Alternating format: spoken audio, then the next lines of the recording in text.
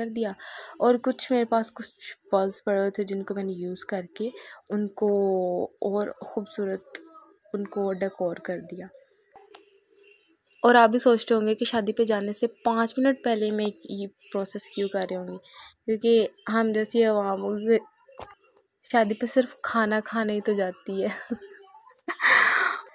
फिर मैंने इसको जल्दी जल्दी बनाया और जब मैंने इसको बना के पहन लिया तो मेरी बहन मेरी तरफ़ बहुत ही अजीब निगाहों से देखना शुरू हो गई। फिर मुझे उसके लिए भी कुछ करना था। और फिर मैंने आ, मेरे पास कुछ और फ्रेम्स पड़े हुए थे आ, जिनको यूज़ करके मैंने एक और जो है वो टसल्स बनाए। और जो कि बहुत ज़्यादा क्यूट थे। और फिर हमने उसको जल्दी से पहना और हम लोग शादी के लिए चले गए। आई होप कि आप लोगों को ये एक जिगाड़ू प्रोसेस पसंद आया होगा। तो प्लीज़ लाइक माई